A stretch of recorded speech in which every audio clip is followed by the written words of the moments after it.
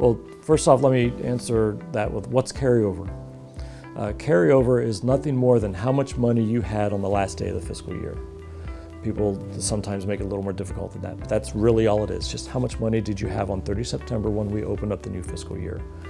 So when it comes to budgeting, we have to we have to estimate how much carryover we're going to have. Uh, then people ask me for the magic formula, and unfortunately, there is no magic formula. There is a best guess.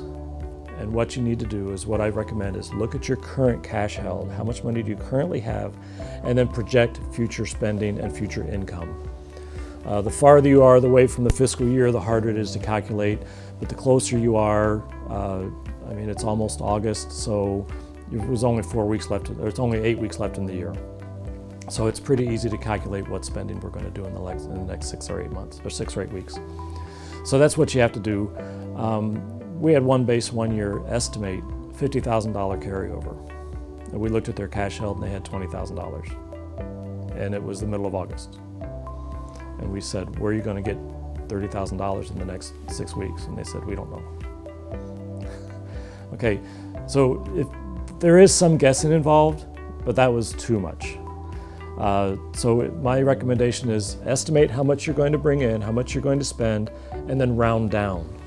Because if you round down, you'll end up with more money than you thought you had. If you round up, you might, you might put your budget into turmoil. Uh, the second question I get is, is, how do I spend my carryover? And I like to use the analogy of, of carryover is like use or lose leave. On 30 September, you have 60 days leave. On 1 October, you're going to start accumulating another 30 days.